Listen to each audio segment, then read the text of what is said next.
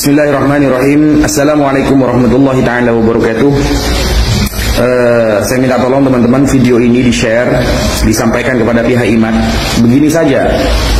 Pada tanggal 7 September Antum semua Wahai Kiai Imat dan para pendukungnya Yang diundang oleh Robito Alawiyah Anda datang ke Robito Alawiyah Untuk menerima undangan tersebut Masalah undangan Anda yang di Wali Songo, sebagian kita juga akan datang.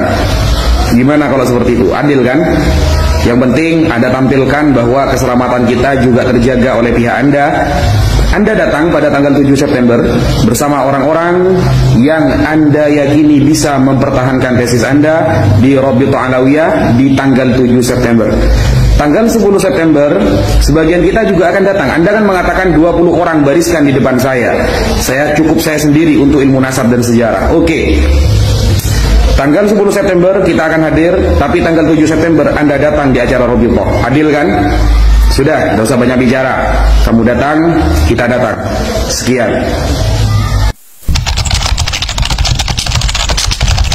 Assalamualaikum warahmatullahi wabarakatuh kalau saya memahami sifat-sifat dari mereka ya Pak Yom baik. Pengkhianat ke bawahnya pasti pengkhianat.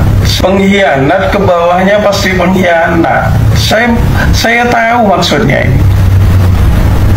Ngomong undang tapi undangannya tidak nyampe. Nanti disebarkan bahwa iman pengecut. Nanti disebarkan bahwa iman pengecut bawa iman kentut. Lo yang kentutin siapa? Ini muhibbin harus ngerti. Biar tidak menjadi muhibbin tolol. Ini muhibbin harus ngerti. Biar tidak menjadi muhibbin tolol. Ini kan persis dengan Habib-Habib muda yang kelewar-kelewar ke timur ke barat. Gak diundang wong teko tapi lagi amat ndak? Resmi apa ndak undangannya? Namanya orang nggak diundang orang datang namanya tupel dalam agama nyelonong. Loh, yang benar harus yang netral. Jangan di tempat Ba'alawi yang netral. Pinjem tempatnya pemerintah atau tempat pondok pesantren siapa yang netral. Itu baru gentleman. Seperti itu maka dari situ saya harapkan Mbak Alawi yang jujur. Suratnya nyampe kepada kepada Kiai Imat yang saya anggap sebagai mujaddid dapat membuka tabir kepalsuan selama berapa ratus tahun ini. Kalau Kiai Imat saya yakin kalau diundang resmi pasti datang.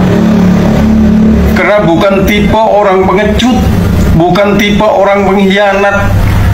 Beliau ini tidak punya bapak kakek pengkhianat. Kalau mereka kan sudah tahu kita. Ben Sopo, Lewong Yaman, Ben Ben Ben Ben akhirnya Ben Abraha. Kiamat bukan kentut. Yang kentut yang ngomong. Siapa yang ngomong kentut? Yodurahim awake dhewe kentut ngomong kentut wong. Lagi apa menurut pandangan Muhyiddin sehat apa harus di medika itu? Di medika dulu. Wassalamu